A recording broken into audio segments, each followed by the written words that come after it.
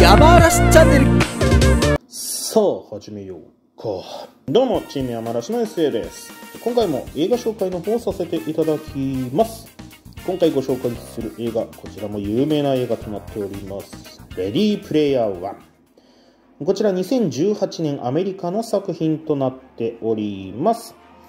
えー、こちらはですね、スティーブン・スピルバーグ監督が、えー、小説ゲームウォーズを映画化した SF アクションとなっております。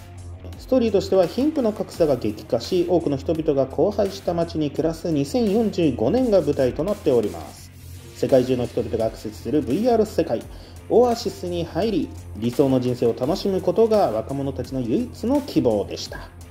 そんなある日オアシスの開発によって巨万の富を築いた大富豪のジェームズ・ハリデー彼が死去しオアシスの隠された3つの夏を解明したものに莫大な遺産とオアシスの運営権を明け渡すというメッセージが発信されました。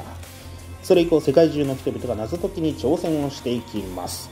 17歳の孤独な青年ウェイドもそれに参加していました。そしてある時謎めいた美女アルテミスと出会ったウェイドは一つ目の謎を解き明かすことに成功します。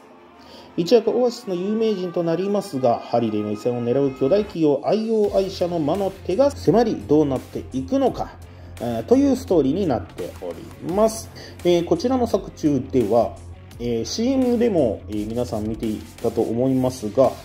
アメリカだけではなくですね日本のアニメやゲームなんかに由来するキャラクターアイテムが多数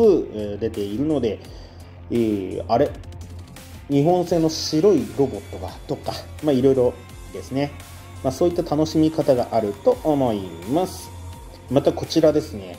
え、作品としてガイガプラス、え、3D アニメ。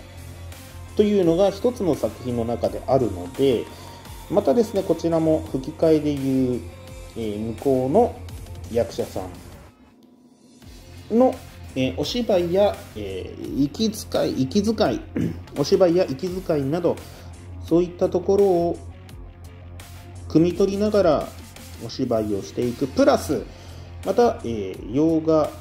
とは別のアニメ的なお芝居の仕方をしないと、また 3D アニメの部分で、えー、またちょっと違和感が出てしまうということがあると思います。えー、こういう2つのところをですね、どういうふうにしているのか、などを注目してみていただけるといいかもしれません